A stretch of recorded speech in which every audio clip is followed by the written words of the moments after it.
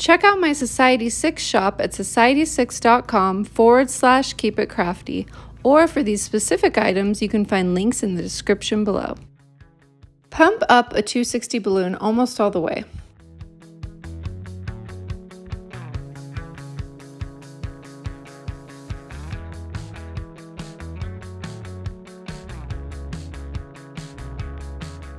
Only leave about a four finger tail at the end.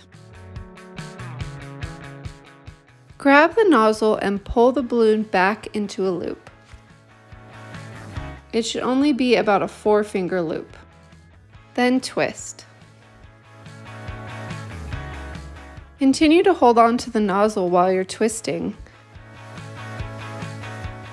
and then push it through the loop. This will lock it into place. If at any time the balloon feels a little bit tight, just squeeze it to distribute the air.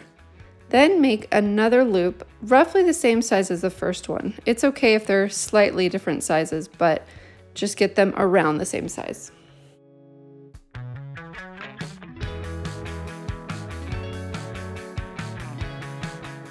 These will be the dinosaur's top and bottom jaws.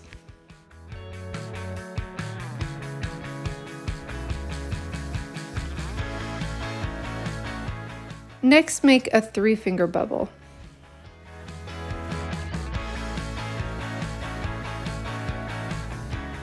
Now bend the bubble back as if you're making another loop, only it's going to be a really tight loop.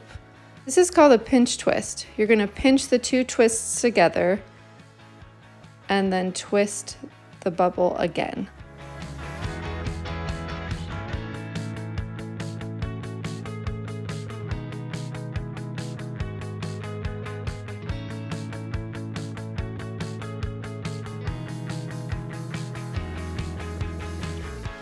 It should be kind of an oval shape, and this is going to be the dinosaur's head.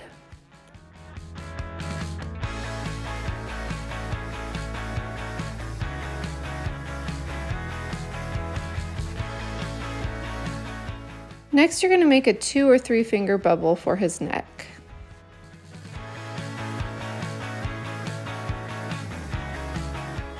Then make a three finger bubble for his first arm. Make another three finger bubble and make sure you measure it against the previous one so that they're the same size, because that will be his second arm. Twist those two bubbles together.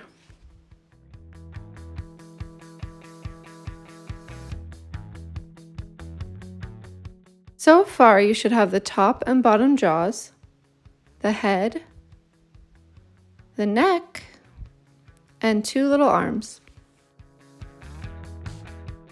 Pay attention to the length of the rest of the balloon. You'll need enough room for a body, two legs, and a tail. I'm going to make a five finger bubble for my dinosaur's body, but if you have a lot of balloon left, you can make it a little longer.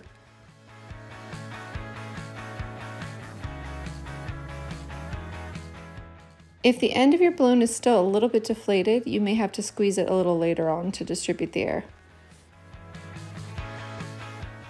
Now I'm going to make a four finger bubble for the first back leg.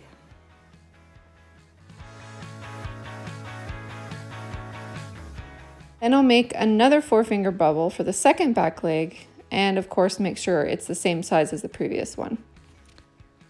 Twist those two bubbles together.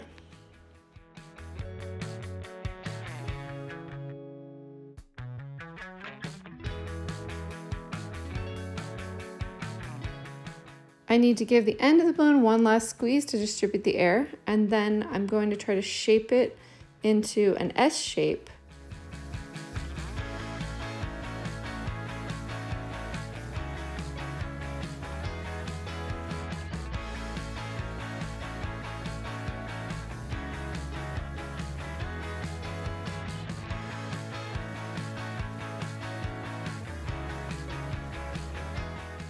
Then make any necessary adjustments to straighten out the T-Rex's body. If everything went according to plan, this is what it should look like now. Here's the mouth, the head, a neck, two small arms, a body, two back legs, and of course the tail. Now you just need to draw on the face with a Sharpie.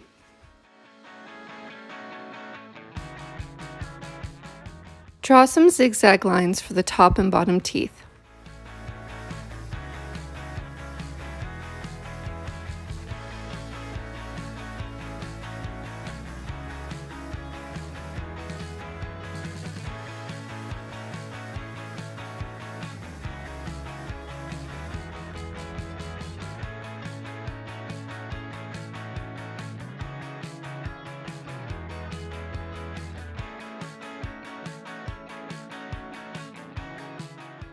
Then draw eyes and eyebrows on both sides of the dinosaur's head. I prefer to draw them slanted upwards to give him a more menacing look.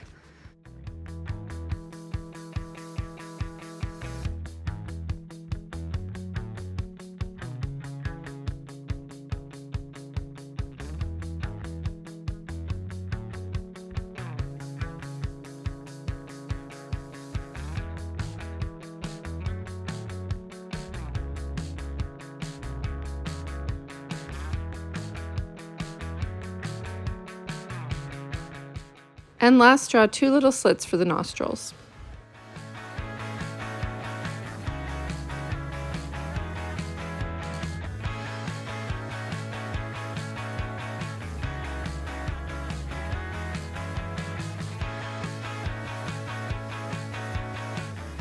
In order to make this balloon dinosaur, you'll need a pump, a Sharpie, and a 260 balloon. If you'd like to order these items on Amazon, I will leave links in the description below.